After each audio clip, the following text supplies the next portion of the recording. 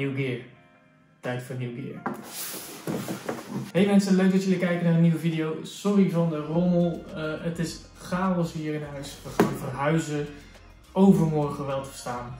Dus ik zit eventjes met um, een hele lastige setting. Maar we gaan het niet hebben over het huis. We gaan het hebben over de Zion Crane 2S. Zoals we gewend zijn van Zion, alles netjes in de doos, stevig verpakt. Best een compacte doos ook. Tenminste, doos slash koffer. Ik denk niet dat je hem hierin gaat vervoeren, maar ze hebben het wel uh, ja, zo gemaakt dat je het eventueel zo kan vervoeren. Wat we allemaal hebben in de doos is natuurlijk de backplate. Oplader, doosje met verschillende kabels om je camera te koppelen met de crane. En natuurlijk uh, de oplaadkabel. Enige waarvan ik denk, kom op Zion, voeg een stekkerblokje toe. Nu gebruik ik altijd mijn uh, witte iPhone stekkerblokje. Werkt ook prima, maar ja, stel je voor je hebt dat niet, dan moet je die dus nog wel aanschaffen. Dan hebben we een statiefje, die komt hieronder, zodat je hem mooi neer kunt zetten. Wat ook weer heel fijn is om te balancen. Batterijtjes, koppelingsplaat voor de backplate en een lens support. Die gebruik ik eigenlijk nooit. Ik pak gelijk even de Crane 3S erbij, want dit is een monster. Dit draagt makkelijk een Arri of een Red en in mijn geval de Sony FS5 met gemak. De Crane 2S is niet bedoeld voor de heavy lifting. Deze is meer bedoeld voor de systeemcamera's of de DSLR's. Wat je gelijk dus ziet is het verschil in sowieso het gewicht. Deze is een stuk lichter, deze is veel zwaarder. Het is allemaal net iets, iets sterker en steviger. Maar we gaan het niet hebben over de 3S, nee, we gaan het hebben over de 2S. Want natuurlijk kent iedereen de 2. Die is iconisch wat dat betreft. Iedereen heeft die wel gehad. Daar is Design natuurlijk ook heel bekend mee geworden. Hij verschilt niet heel veel met de 2. Maar wat ik wel gelijk zie is dat dit stuk van carbon is. De vergrendelingen zijn ook mega chill. Zo. Het enige nadeel bij mij is gelijk als ik een bruiloft heb en ik schiet heel vaak handheld op een bruiloft en ik wil heel snel kunnen schakelen tussen handheld en gimbal, dan zit dit ding Oké, laten we deze gewoon even afdraaien. Gelukkig is dat ook niet super veel werk. Oké, okay, ging goed, zelfs met de cage erop en uh, het handvat van Smallrig. Dus dat gaat allemaal prima. En hij kan precies naar achter. Dus dat is weer echt net, net een gelukje dat hij daar niet mee uh, in de problemen komt. Um, ja, so far so good. Nou, de eerste indruk is eigenlijk heel goed.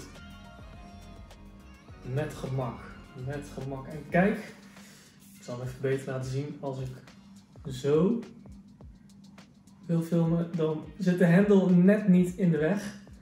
Dus dat gaat helemaal goed. dus de Sony A7 III plus de small rig case, plus de hendel en uh, een 2470 van Zeiss. Dus niet een super zware setup, maar als je zo ziet, denk ik dat hij hem wel goed kan handelen. Als ik de Go-modus selecteer, ik noem dat eigenlijk de sportstand, want uh, hij reageert dan heel snel op jouw bewegingen. Dus als ik naar boven ga, dan gaat hij naar boven, als ik naar beneden gaat hij naar beneden. En naar links, naar rechts. Ook dan vergt hij best goed werk. Nou vraag je wellicht af welke camera's kan deze gimbal nou precies dragen. Nou in eerste instantie al systeemcamera's, al DSLR's. Maar ze gaan net een stapje verder, want de Blackmagic uh, Pocket Cinema camera 6K bijvoorbeeld, die is ja, net iets groter, iets zwaarder. One DX Mark III ook iets zwaarder, Nikon D850. Het zijn allemaal net wat, wat grotere werkpaarden, zeg maar. En dat kan hij uh, dus ook met gemak dragen. Ik heb er zelf geen. Ik heb wel een Sony FS5, dus dat is echt een cinema camera. Die is dan weer net weer een slagje groter en zwaarder. Ja, die heb ik nog niet getest op deze. Die zal die uh, denk ik ook wel kunnen dragen, maar ik denk dat de performance dan wel achteruit gaat. Het schermpje hierop is ook ietsje groter. Het is nu een OLED display. Uh, dat betekent dat het veel scherper is dan uh, de Crane 2. Eh, dat was net blokkeriger of pixeliger of zo op een of andere manier. En dit is gewoon echt een, een, een, een mooi, goed scherm, duidelijk ook, groot genoeg. Meer moet er ook niet op zitten. En zoals je ziet, misschien wel een van de tofste, nieuwste functionaliteiten van het 2S is de verticale stand.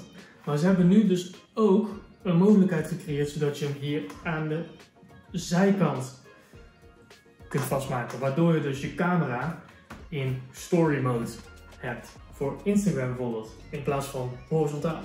Dus dat vind ik zelf wel heel tof dat ze dat nu hebben toegevoegd. En zoals je ziet, ook dat gaat helemaal prima. Zelfs met de cage en de handle er nog steeds op. Het enige waar ik een klein beetje tegenaan liep was het balancen van de verticale stand. Um, ik heb het idee dat ik hem niet heel goed gebalanced heb. Maar ik moet zeggen, als ik hem aanzet, dan houdt hij hem uh, prima op zijn plek. Nou, wat kost deze Crane 2S? Hij is te koop in Nederland voor 659 euro.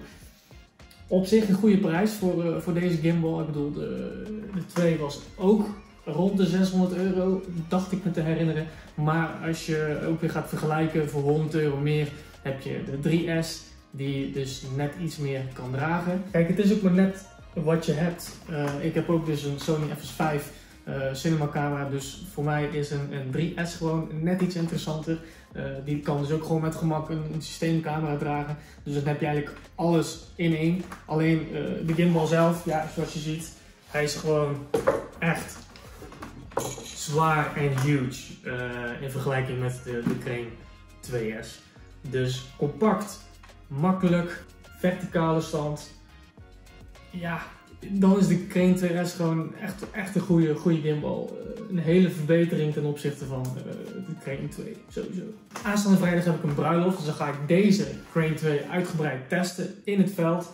Dan heb ik ook een veel betere beleving van, van de gimbal. Daar komt nog een tweede video van waarin ik echt de beelden laat zien die ik geschoten heb op de bruiloft. Wil je nou meer weten over de Crane 2S? Klik even op het linkje in de beschrijving. Goed, ik hoop dat jullie er wat aan hadden. Bedankt voor het kijken en tot de volgende. Cheers.